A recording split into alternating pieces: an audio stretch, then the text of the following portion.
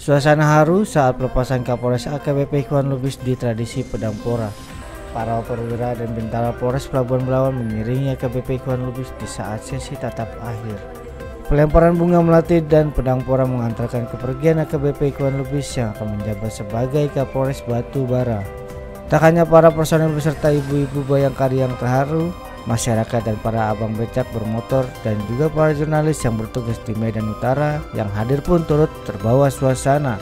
Dalam pelepasan AKBP Ikhwan Lubis, hal yang paling terkesan selama satu tahun 9 bulan bertugas di Polres Pelabuhan Belawan, yakni keramahan masyarakat Belawan yang ikut serta menjaga suasana kondusif selama AKBP Ikhwan Lubis bertugas di Belawan.